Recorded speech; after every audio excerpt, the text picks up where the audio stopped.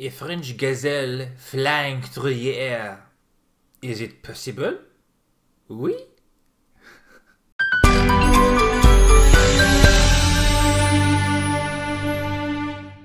Hello and welcome dear scale modelers to my small hobby YouTube channel. My name is Toma and today we're going to be looking at a helicopter. So this is a gazelle, alright?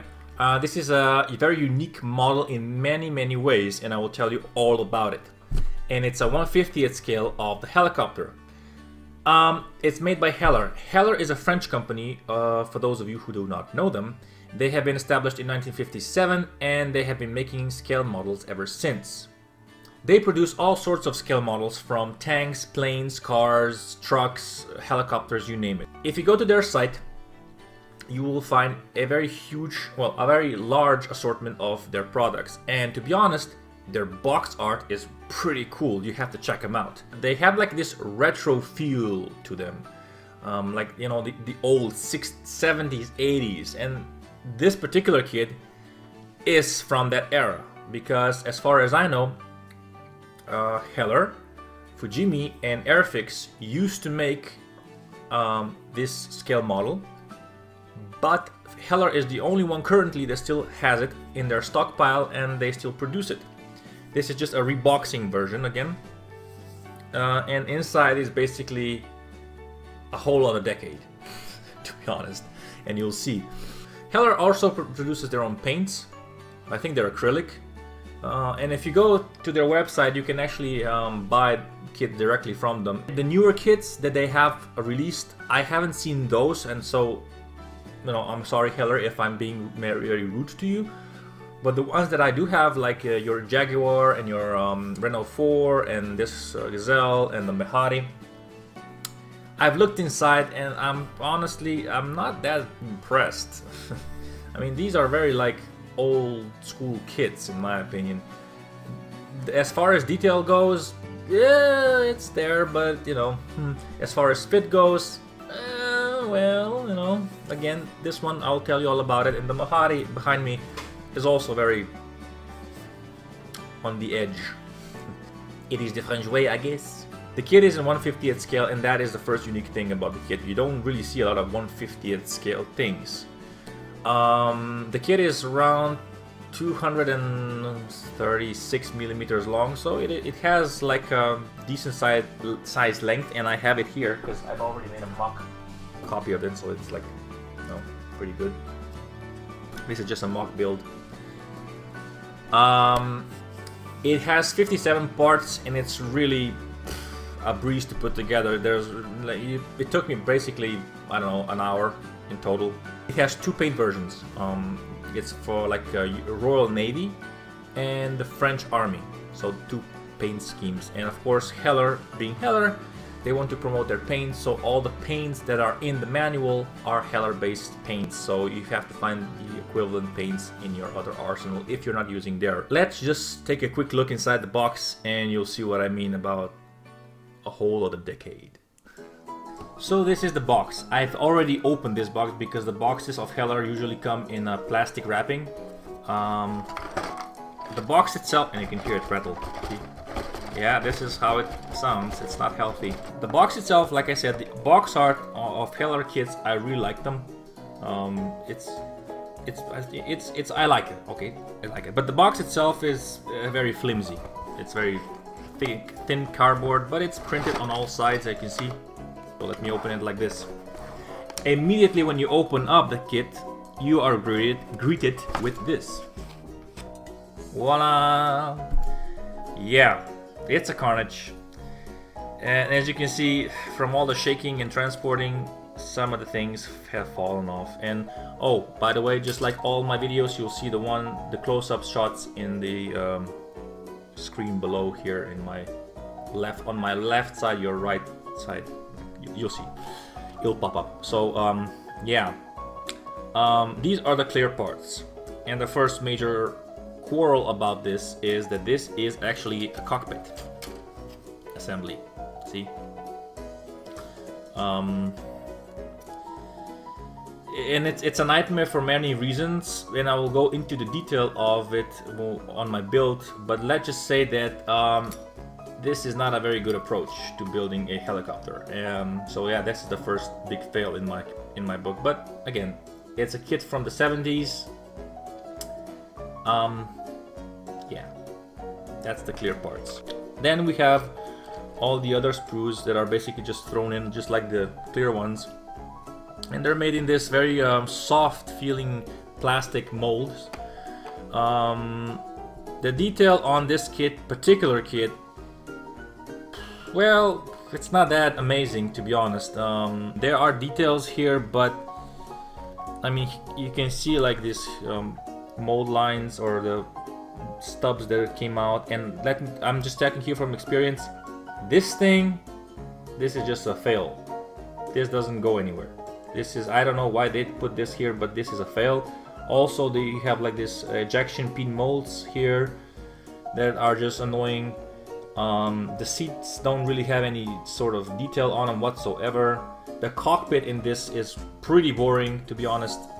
Um, there are like pedals here. Uh, really, this kit is basically made for modification, and that's why I really like it. Besides, it's it's a Gazelle. I really like the helicopter itself. So, yeah.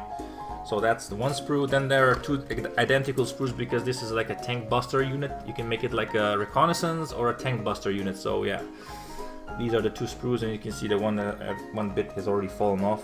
I guess from the shaking. You know, this little thing. Um, again, soft plastic. A lot of look at this overhang flashing. Ugh. It's just a lot of stuff, and you have to kind of, if you can see this one, look at this. You have to really scrape this stuff off. So yeah, it's a project. And this is of course the main business end of the body. Two halves of the screw, You can join them together. Again, the detail on it on it is it's there and you have some raised detail so you can like feel the rivets and panel lines. Um, but it's well in my opinion it could be more exaggerated because this is one after all 150th scale but I guess because I've seen the, the um, Gazelle in real life I must say that uh, this is pretty good because uh, the real Gazelle is really not that you know um, pronounced you don't see a lot, you don't feel a lot of panel lines you, you can feel the rivets you can see them like in the model here as well but I think this is pretty true to form um, as far as the outside but I think on a model such as this, it would be nice to have a little bit more pronounced contours. And this, like this, this is not exhaust. This is like a, um, a mesh that covers an internal area. This could be done like hollowed out and put a mesh behind it so it could re replicate like the real thing. So if Heller is attempting to do this uh, again, uh, I would really recommend that they do this. And on one kit in particular, they have messed up the kit in a way that this antenna was pretty much very different from this antenna so I had to order a new one and I'm waiting from Heller uh, on the replacement part so yeah that's okay uh, again there are some cockpit parts like here inside two halves go together really not a lot of detail cockpit really is very boring on this kit so Heller if you're listening uh, if you're gonna make this again please do I really I like the I like the helicopter and I think a lot of other people do like the helicopter, but you really, really need to do more research on the thing again to make it much better. Uh, inside, on the bottom, of course, you get the very plain manual with some decals inside. Okay, these are the decals. Uh, again, the decals are this in this particular kit pretty good. Not great, but pretty good. Um, there's basically cockpit here, and then there's uh, various markings for two different types of uh, aircraft that you can make. Mm, a little sharky. So the last man, the thing is the manual, and the manual is just basically just A4 paper. Pretty boring manual. Um, as you can see, the cockpit is like one page, and the only difference between these two things are that this is darker and this is lighter. So yeah, not much the rotors come together in one giant swoop of a build.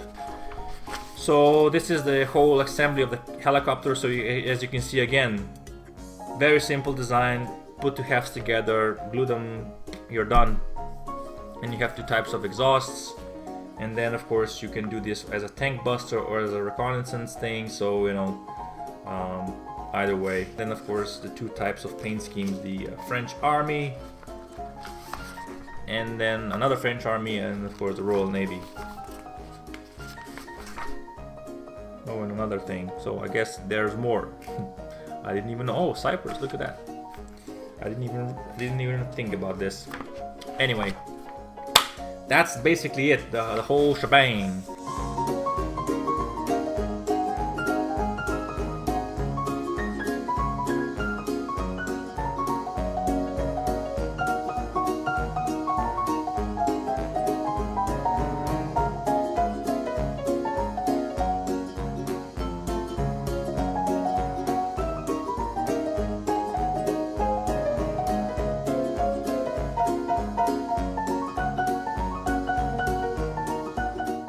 So that's it, guys. That is the Gazelle.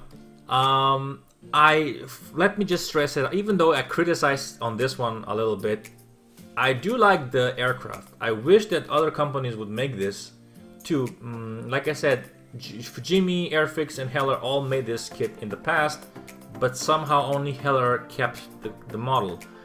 I guess it's not that popular. I really find it interesting and um, like I said, it's a breeze to build, but there are certain things that are in the process of building are wrong with it. And one thing that I have to say is, if you're gonna buy this and build it, please, please make sure that you put a little weight in the front of the cockpit because this aircraft is tail heavy. Yeah. Heller Company uh, prides itself with the slogan uh, "Made in France," which in this case would be why. Like all the kits that I review, you can find this one in the, the, link in the description below. If you're new to this channel, take a look around uh, some of my other videos. Um, maybe consider subscribing because, you know, if you do, your life will totally change for the better. Um, but if you're already subscribed to me, thank you very much. I appreciate it. Um, share, like, comment, subscribe, you know, all those good things, and life will be good again. Bye bye. See you soon.